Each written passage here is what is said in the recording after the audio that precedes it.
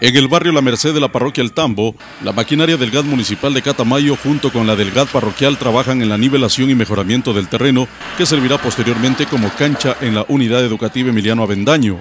Diego Armijos, presidente del GAD parroquial, destaca el trabajo coordinado con el municipio para servir a los diferentes sectores. Y ahora se tiene el apoyo también del municipio con lo que es las volquetas y rodillos. Hemos tenido el apoyo del municipio, de la alcaldesa para, para hacer esos trabajos y eso es importante.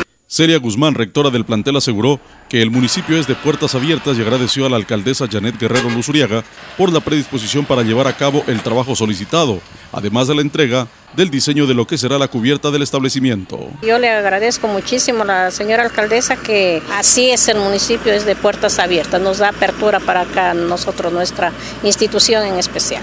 161 estudiantes se beneficiarán posteriormente con la adecuación de dicho espacio, sostuvo Juan González, presidente del Comité de Padres de Familia de la Unidad Educativa. Con esta eh, acomodada de que queda un espacio muy lindo para que jueguen los muchachos y se sentirán bien y así mismo pueden desarrollar eh, su mentalidad y así pueden progresar en la educación.